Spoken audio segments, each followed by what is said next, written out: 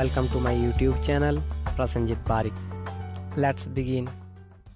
Hello everyone आज की इस वीडियो लेसन में हम लोग क्लास टेंथ की गणित विषय से अध्याय नौ त्रिकोणमिति के कुछ अनुप्रयोग अध्याय से एक क्वेश्चन को लेते हैं और इसको सॉल्व करते हैं तो आइए देखते हैं क्वेश्चन क्या है क्वेश्चन है, सर्कस का एक कलाकार एक 20 मीटर लंबी डोरी पर चढ़ रहा है, जो अच्छी तरह से तनी हुई है और भूमि पर सीधे लगे खंभे के शिखर से बंधा हुआ है। यदि भूमि स्तर के साथ डोर द्वारा बनाया गया कोण 30 डिग्री का हो तो खंभे की ऊंचाई ज्ञात कीजिए। तो यह रहा हम लोगों का क्वेश्चन।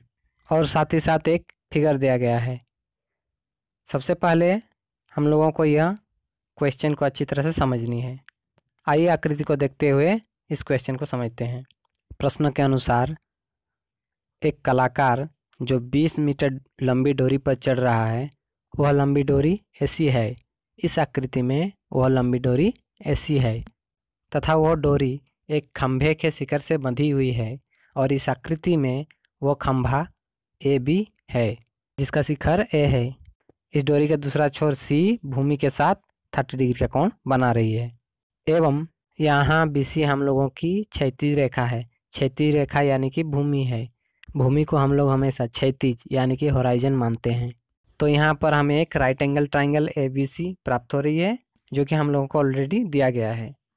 इस ट्राइंगल ए बी सी में कार्न ए सी ट्वेंटी मीटर है तथा न्यून कोण सी थर्टी डिग्री की है। तो हम लोग त्रिकोणमिति का यूज़ करके ए बी की लंबाई, यानी कि खंबे की ऊंचाई आसानी से ज्ञात कर सकते हैं। तो चलिए खंबे की ऊंचाई ज्ञात करते हैं। माना खंबे की ऊंचाई इक्वल टू ए बी डोरी की लंबाई ए सी कितनी है? बीस मीटर है। तथा थीटा जो एंगल है थर्टी डिग्री एंगल सी उन्नयन कोण थर्टी डिग्री की है। अब यहाँ पर हमें ए बी की ऊंचाई ज्ञात करनी है। अब इस प्रकार के प्रश्नों में जब एक राइट एंगल ट्रायंगल बनती है, जिसमें एक न्यून कोण एवं कोई भी एक भुजा जिसकी लंबाई दी हुई रहती है तो उसमें जो भुजा ज्ञात करनी होती है उस भुजा को दी हुई भुजा के साथ रिलेट करनी पड़ती है। उनके बीच कोई रिलेशन ढूंढनी पड़ती है, जिसमें थीटा यानी कि कोण का भी संबंध हो। यहाँ ट्राइंगल एबीसी में ए बी भुजा ज्ञात करनी है एवं ए सी भुजा की लंबाई दी गई है। तो हम लोग ए बी भुजा एवं ए सी भुजा का अनुपात यानी कि त्रिकोणमितीय अनुपात को देखेंगे, जिसमें एंगल थीटा भी मौजूद होगी। इस त्रिभुज में ए बी परपेंडिकुलर है तथा ए सी हाइपोटन्यूज है। तो परपेंडिकुलर अपॉन हाइपोटन्यूज होती है साइन थीटा, या कह सकते हैं हाइपोटन्यूज अपॉन परपेंडिकुलर होती है कोसेक थीटा। तो हम लोग साइन थीटा या कोसेक थीटा किसी का भी यूज़ कर सकते हैं। तो चलिए साइन थीटा लेते हैं। साइन थीटा इक्वल टू या साइन सी इक्वल टू लम अपॉन कर्न पी अपॉन एच, यानी कि ए बी अपॉन ए सी। यहाँ पर थीटा थर्टी डिग्री है यानी कि कौन सी थर्टी डिग्री है? तो sine thirty degree equal to A B upon A C कितनी है? ट्वेंटी। Twenty metre. अब हम लोग साइन थर्टी डिग्री की वैल्यू जानते हैं।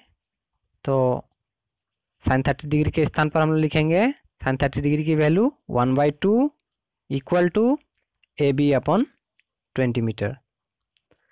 यहाँ पर क्रॉस मल्टीप्लिकेशन करेंगे तो हमें ए बी प्राप्त हो जाएगी। A B equal to twenty metre upon two. Two से ट्वेंटी को डिवाइड करेंगे, टू वन जे टू टू टेन जे ट्वेंटी तो हमें भी प्राप्त हो गई टेन मीटर। अर्थात हमें खंभे की ऊंचाई प्राप्त हो गई।